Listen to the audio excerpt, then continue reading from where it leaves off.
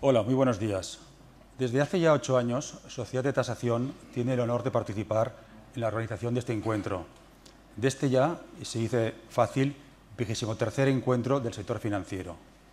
Quiero agradecer a ABC y a Deloitte la oportunidad que nos brindan, así como a los ponentes de estas dos jornadas y a todos ustedes por su asistencia. Como en años anteriores, quiero reiterar nuestro compromiso, el compromiso de Sociedad de Tasación, para convertirnos en un referente para instituciones, entidades financieras y consumidores, con el rigor técnico y la independencia como banderas. Sobre la evolución de los precios del mercado de la vivienda, por los que siempre nos preguntan, lo que les puedo decir es estabilidad de precios. En el último informe que hemos publicado este mismo mes de abril, el titular hace referencia a que el precio medio de la vivienda en España se mantiene estable desde 2014.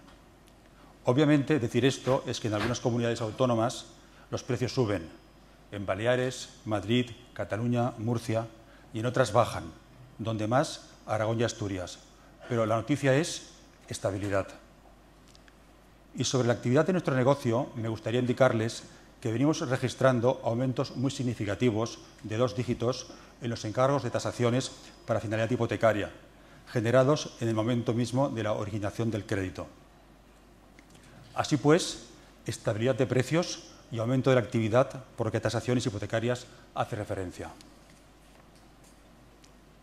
Me gustaría también, por su trascendencia, mencionar un apunte sobre la norma contable IFRS 9, cuya redacción está enfocada a alinear los objetivos de la gestión del riesgo con la contabilidad y que entrará en vigor el 1 de enero de 2018, pasado mañana, como quien dice.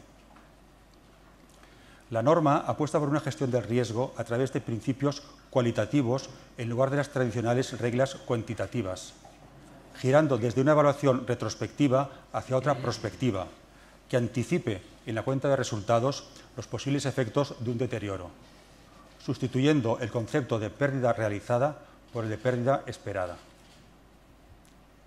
Para ello, cada entidad deberá evaluar al final de cada periodo si existe evidencia objetiva de que sus activos financieros pueden tener deterioros, con independencia de que los créditos se encuentren en una situación normal. El proyecto de circular del Banco de España sobre las normas de información financiera de las entidades de crédito es un intento de adaptación de la norma local a la norma internacional, entre otros aspectos, para la determinación del deterioro del valor de los créditos y, por ende, de sus garantías, así como de sus colaterales. En el caso de los préstamos con garantía hipotecaria, un peso muy importante en el cálculo de la cobertura se encuentra en la correcta valoración del colateral.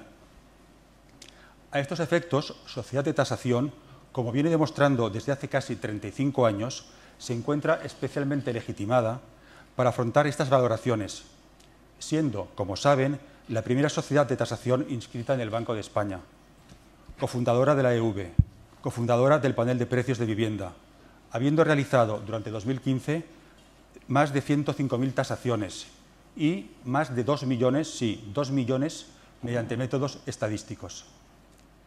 Desde Sociedad de Tasación somos pioneros en el desarrollo de modelos de valoración construidos desde una de las mejores y más sólidas bases de datos inmobiliarias del mercado. La venimos realizando desde hace ahora 30 años y contamos con el refrendo de seguir trabajando año tras año para la mayor parte de ustedes. Y nada más, pasemos a escuchar a los ponentes de esta jornada que, como cada año, a buen seguro, nos ilustran sobre la situación actual del sector. Muchas gracias.